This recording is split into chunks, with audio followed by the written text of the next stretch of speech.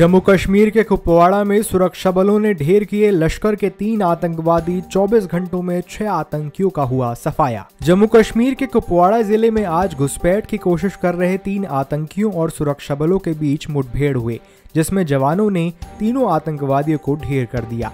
IG Kashmir Vijay Kumar ने यह जानकारी देते हुए बताया है कि ढेर किए गए तीनों आतंकवादी लश्कर तैयबा से जुड़े हुए थे।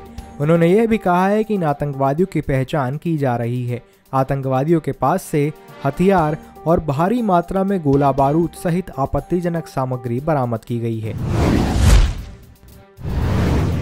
महाराष्ट्र सरकार में मंत्री और शिवसेना नेता अनिल परब पर ईडी की बड़ी कार्रवाई, साठ ठिकानों पर मारे छापे। महाराष्ट्र सरकार में मंत्री और शिवसेना नेता अनिल परब पर ईडी ने आज बड़ी कार्रवाई की है। ईडी ने परब के पुणे और मुंबई में साठ ठिकानों पर छापेमारी की है। शिवसेना नेता के खिलाफ करोड़ों की रिश्वत लेने का आरोप है, जिसके चलते ईडी ने यह कार्रवाई की है। ईडी ने उन पर मनी लॉन्ड्रिंग का मामला भी दर्ज किया हुआ है, जिसके तहत उनके साठ ठिकानों पर कार्रवाई चल रही है। एजेंसी का यह मानना है कि उन्हें यहाँ से कई अहम सबूत मिल सकते हैं। टेरर फंडिंग मामले में यासीन मलिक को हुई उम्र कैद की सजा, घाटी में हुई हिंसा इंटरनेट हुआ बंद। आतंकी फंडिंग के मामले में दोषी करार हुए जम्मू कश्मीर लिबरेशन फ्रंट के अलगाववादी नेता यासीन मलिक को उम्र कैद की कल सजा सुनाई गई। उम्र कैद के साथ ही उन पर 10 लाख का जुर्माना भी लगाया गया है। यासिन मलिक की सजा पर अदालत का फैसला आने के बाद श्रीनगर के कुछ हिस्से बुधवार को बंद रहे और शहर के मैसूमा इलाके में जेकेएलएफ अध्यक्ष मलिक के समर्थकों एवं सुरक्षा बलों के बीच झड़प हुई। मैसूमा के मलिक के आवास के बाहर बड़ी संख्या में महिलाओं समेत लोग जमा हो गए। उन्होंने अलगाववादी नेता के समर्थन में नारेबाजी की और इलाके में विरोध मार्च निकाला।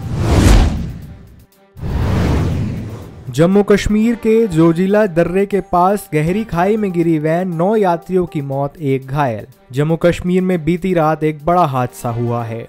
लेह श्रीनगर राष्ट्रीय राजमार्ग पर जोजिला दर्रे में मंदिर मोड़ के पास मंगलवार देर रात एक वाहन 400 मीटर गहरी खाई में जा गिरा।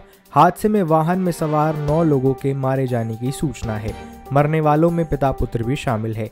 ये वाहन कारगिल से सोनमर्ग की तरफ़ आ रहा था।